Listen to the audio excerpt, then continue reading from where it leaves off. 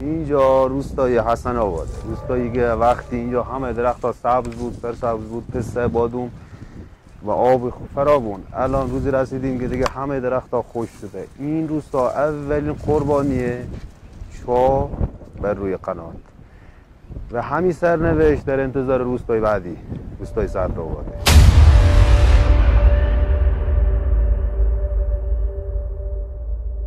مردم یزد با سه تا مشخصه شناخته میشن قناتو قنوتو قنات ما پدر باخ جمعی تو صدر آباد پیر شدن و مردن. روستای صدر آباد ندوشن از تواب شهرستان می بوده و جمعیت حدود 1100 نفر. جمعیت داره با قناتی با طول 4 کیلومتر 5 کیلومتر. 27 لیتر در ثانیه گذشت آب داشتن من الان داره از چپونی میام میگه نشستم و مصاحبه می‌کنم. گوسفندم تو بیابونه باید برم بیابون بدوم به خاطر این آب دل خونو می‌کنه. این آب هم که خوش شد دیگه بعدش باید چیکار کنیم ما؟ زمانی که شورا بودیم قرار بر شد تا 20 یعنی از سال 91 90 و بگه 89 90 قرار شد تا 20 سال آینده هیچ گونه مجوزی از طرف بخشداری از طرف سازمان آب از طرف ارگان دولتی صادر نشه. هیچ مجوزی.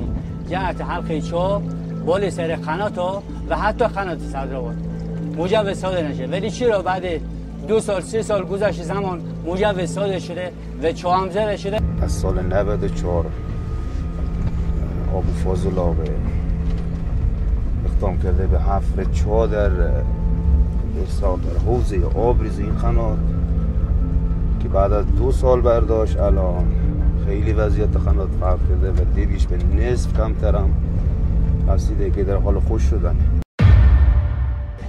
ما یک دفعه آب گیر این درخت های ما نمیاد. ولی همون خود سفلا بری آب الان زیاد دارن خیار سبز همه چی کشتن. و اگر این روالم پیش بره. مطمئنم تا یه مدوم دیگه این خنات کلا خوش میشه. درخت های 200 ساله 300 ساله ما همشون خوش شدن. بالا سر قناتون چا زده خب؟ این آب همش لطمه اون چای بالا. که ما داریم می‌کشیم. پارتیشون هم قویه. ما هر چی چکشی بزنیم اونا با یک لحظه اونجا رفتن پول پرداخت کنن و پارتی بگیرن و کارا رو بکنن جلو کار ما رو میبندن. تا الان هم بستن. ما نتونستیم کاری بکنیم. از مسئولین می‌خوام اگر اینها بیاین توی آبادی ما با این سختی که ما زندگی می‌کنیم خانواده آنها یک هفته اینجا زندگی بکنن به نظر من ما تا زنده هستیم تو آباد زندگی می‌کنیم. هیچ که به فکر مردم دوستا نیست. اگه مردم هم خودشون اقدام کنن این دفعه یا آشوب دارن یا اخلاق دارن یا ضد انقلاب. کسی ضد انقلاب نیست.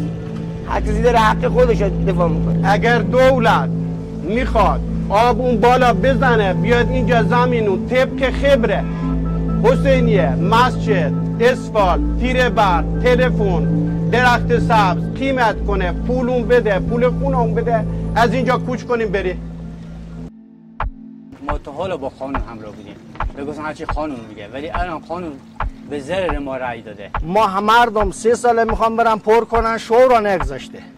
هی گفته حوصله کنی حوصله کنی. پس از این حالا ما تا محرم که قتل امام حسینه وای میسیم. ما دیگه گوش به حرف هیچ که نمیدیم.